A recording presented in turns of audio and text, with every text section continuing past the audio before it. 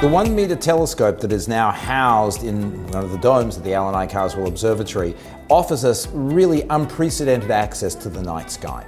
The optical capability of this telescope brings far smaller and fainter details into sharp resolution. It's so cool knowing that I can come in here and just use this research grade telescope, not only just for school, but just to observe the night sky. The planets look amazing through this. Star clusters, galaxies, they all look so gorgeous. The opportunities that the telescope is providing me is it helps me to do my research. It helps me to uh, use the things that I learned in class in real life. It provides an opportunity for different kinds of projects for the upper year courses. We can do a wider variety of things. Students have more opportunity to gather data. Every aspect of our operation, from public outreach through to student research, is going to be enhanced. We've got a terrific instrument on our hands.